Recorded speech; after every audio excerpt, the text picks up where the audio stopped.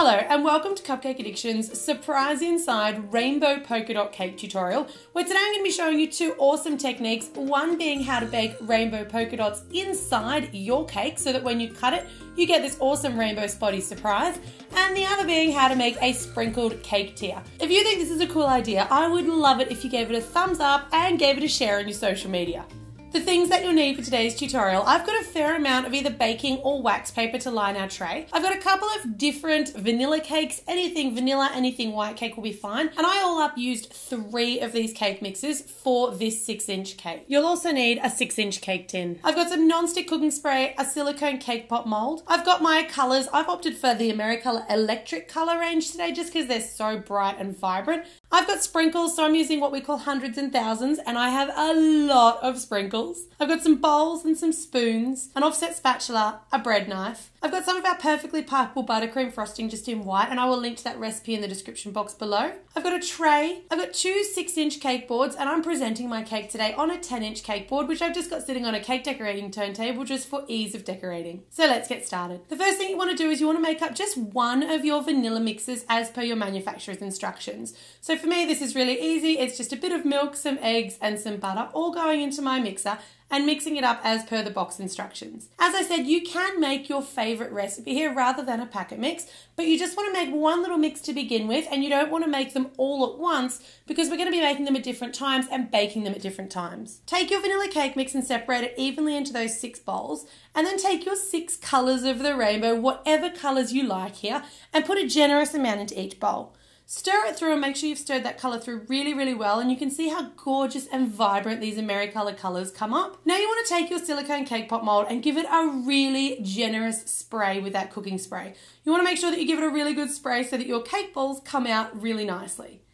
You want to fill those cake balls and you want to fill them all the way up to the line or even just a little bit over the line because you don't really want to underfill them here. Take the lid, stick it on and press it down really firmly, not just on the sides but all through the middle. I actually found I didn't press mine down quite enough. So you can see when mine have come out of the oven, they've kind of spilled out a little bit.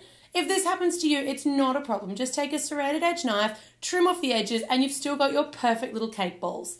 You can also use a cake pop maker for this. I only baked mine for about eight minutes. They're only small and they don't need too long in the oven. Now that your balls are all baked, you can make up another batch of your vanilla cake mix. It's best if you make this just before you're about to use it. So you should have your cake balls, your made vanilla cake mix, and your wax paper. So for my six inch tin, I've just cut a piece of wax paper for the base that perfectly fits inside. And then I'm taking a longish piece and folding it in half before wrapping it around my hands to make like a double strength collar that goes up about an inch or so higher than the side of my cake tin. Take your cake balls now and you want to put, I put five or six in mine, but really you could do seven or eight. You can do these in any colours. You could do them in sporting team colours.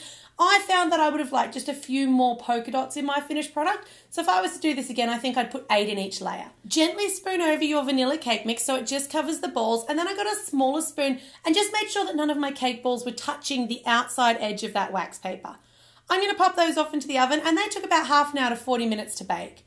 You need to do this three times so that you've got three separate layers. So although this is only a six inch cake, it's a really tall extended height six inch cake. So it is going to feed a lot more people. When all of your cakes have baked and completely cooled, the thing that you need to remember here is you want them all to be an even height. So I start by cutting the bottoms off. Any sort of brown bottoms or crunchy bottoms, I like to just make sure that all the bottoms are nice and trimmed away. And then I'm going to line them all up and I'm going to cut almost across all three at once to make sure that I'm getting pretty much the same height.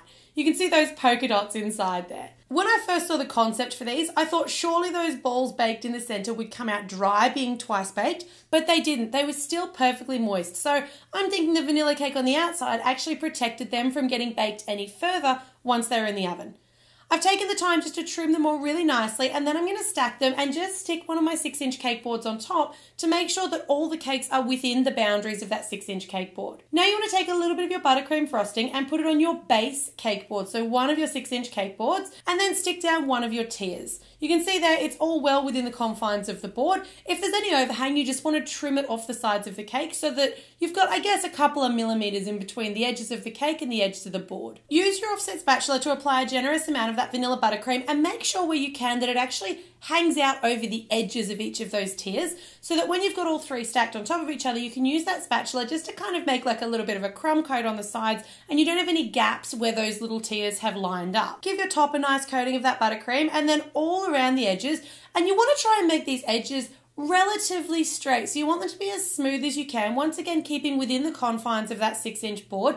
Then when it comes to the top, you'll see I'm just using the back of my spatula just to kind of scrape in towards the cake to give me some really nice sharp edges with that buttercream frosting. Pop your cake in the freezer for a good 20 minutes so that first coat gets nice and firm. And then you want to take your sprinkles, and this is where it gets really messy. Pour a really generous amount of them into your tray. Once you've got your sprinkles ready, you're going to apply a second coat of the frosting. That stuff underneath is going to be nice and firm, so it's going to help us hold our shape, but it's not going to be sticky enough now for those sprinkles to stick to. I put the second six inch cake board on top of my cake, and this is going to help me keep it a nice even height and a nice even width all the way around, and then fill the center with more buttercream frosting. Using your bread knife, because it's nice and long and flat, you just want to run that along. It should rest up against those two six inch boards and give you a pretty well perfect, nice straight edge to your cake. Use your spatula now just to lever that cake up off your baseboard and then you'll be able to pick it up using those two six inch boards. You'll actually be able to carry it quite easily and then you're just going to roll it kind of like a drum in your sprinkles. You will need to shake those sprinkles and just level them out so that they stay in the center because as you pick them up onto the sides of the cake, they're going to want to leave little holes in the center of your sprinkle well. You can see here why we need so many. Once you've got it completely covered, just pat them all on so they're really nice and firmly stuck to that frosting and they're not all going to fall off a little bit more frosting down on that little baseboard, and then I'm just going to sit the cake on top. You'll have a couple of minutes to maneuver it around before that buttercream starts to set. Once again, taking your spatula now, and you just want to kind of lever underneath that top board. It doesn't matter if a little bit of your frosting comes off here because you're going to neaten that up anyway and it needs a fresh coat. So just use your spatula, scoop on a bit more of that frosting and try to keep it within the confines of those sides so you're not putting any frosting over the sprinkles that you've already laid on the sides of your cake. To coat that top, and this is where it gets kind of messy and you will get sprinkles everywhere, I just took little handfuls of the sprinkles, sprinkled them on top and kind of spread them out.